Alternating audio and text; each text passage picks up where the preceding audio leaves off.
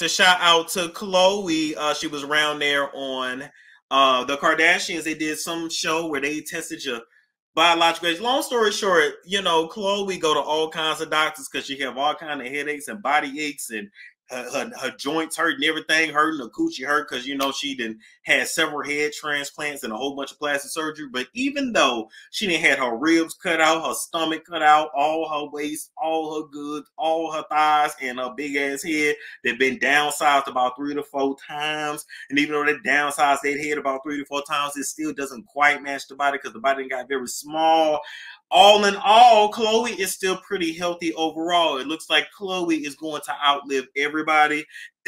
so I just wanted to tell you, Khloe, since you know you are healthy and you're going to be outliving everybody, that I want you to take this time that you have on earth to go and find your real people, go find your real pappy, your real aunties and uncles, so you can understand where you come from. So you won't be around here looking at your baby, talking about, oh, I don't know who he looked like, as if he didn't come out your coochie. Oops, he did it. He came out of surrogate during COVID, and you didn't even want to go pick him up because he had a dirty ass daddy. Anyway, that's all I had to say, real quick on Khloe, real quick, because I was not gonna take a lot of time with her. All right. Uh, it's Storm Show.